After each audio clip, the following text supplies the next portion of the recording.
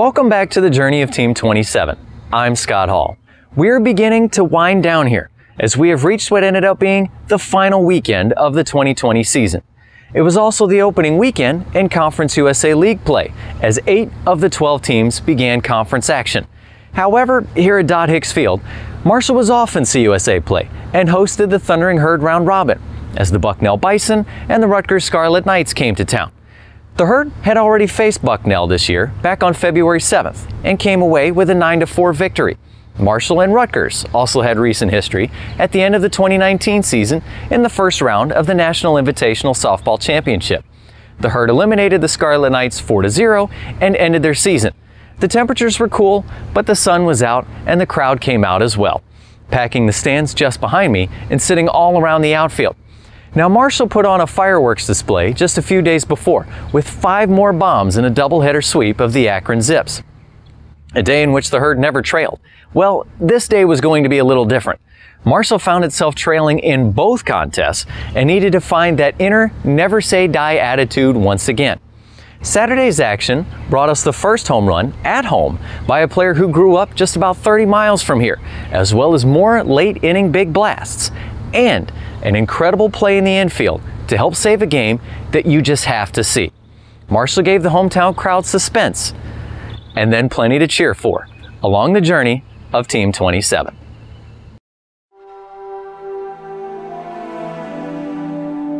As Marshall and Bucknell took the field on Saturday, the Bison were coming off a 10 5 loss to Rutgers and looked to take charge early, loading the bases and then clearing them in the first.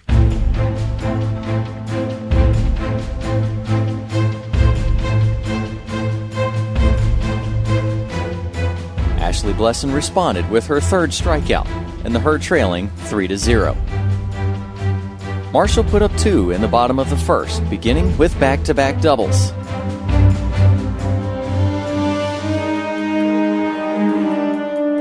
Huerta swings on that, drives it over to left, over the outstretched arm of the left fielder, Lord Birder.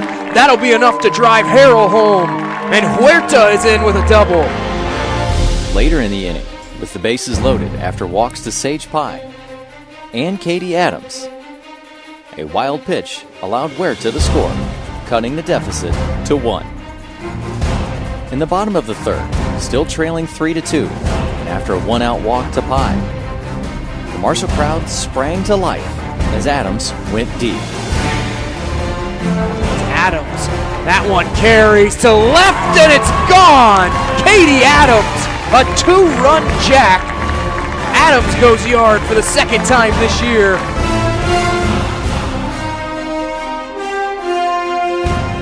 It was Adams' first career home run at home, and Marshall took the lead 4 to 3. Meanwhile, on defense, learning from her rough start, Blesson settled in and dominated the rest of the way. Five Bison batters reached base in the top of the first, only six reached through the remainder of the game as Blesson mowed down a career high seven batters. And the defense made play after play. Reve gets a piece of that. Back at the wall, and the grab is made by Rachel Rousseau. A leaping grab near the warning track. Throw to second is in time, and Huerta tags up on the bag.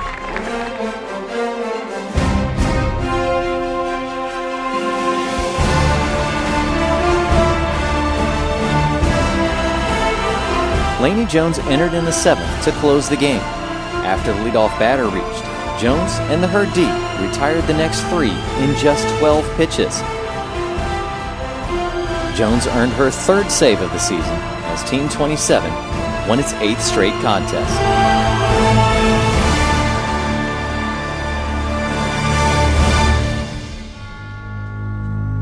After a quick break, Marshall came right back out on the field against Rutgers in what became a great back and forth battle. The herd looked to be in control from the outset, with great defensive work and just one Scarlet Knight reaching base through the first three innings.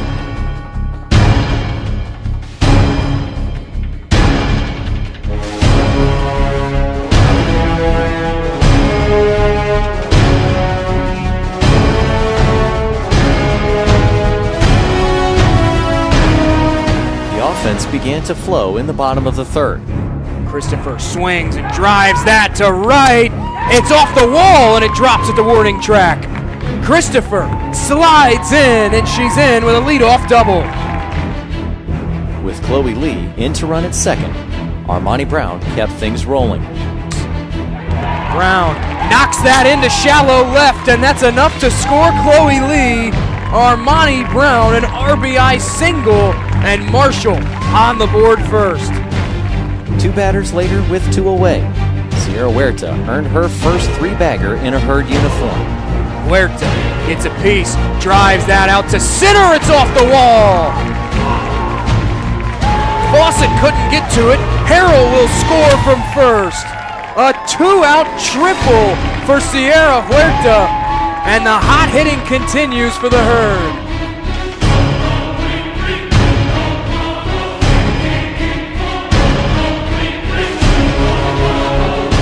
Maya Stevenson drove in the third run of the inning, out hustling an infield single. Rutgers scored two in the top of the fourth before Marshall added another run in the bottom of the inning.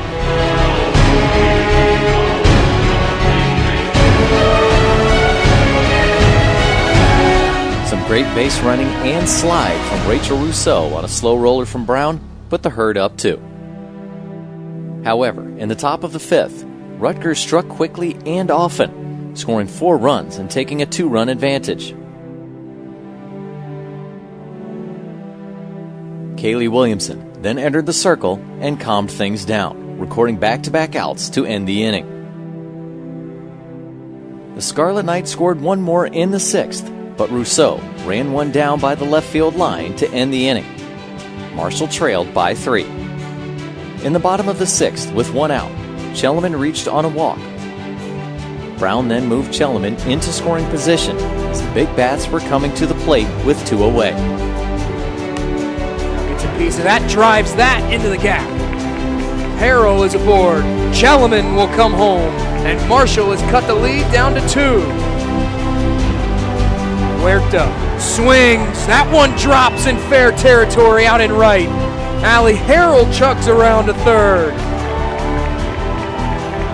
A two out rally for the Thundering Herd.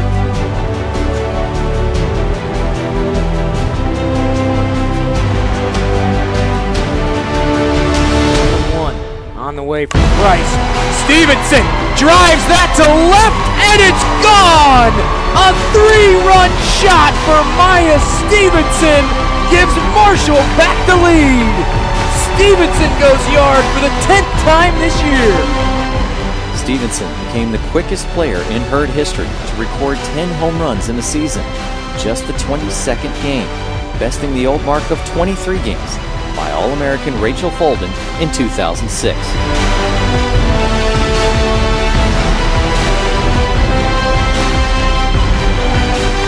Pie gets a piece of that. That one's gonna go yard. Goodbye, Sage Pie, for the sixth time this year.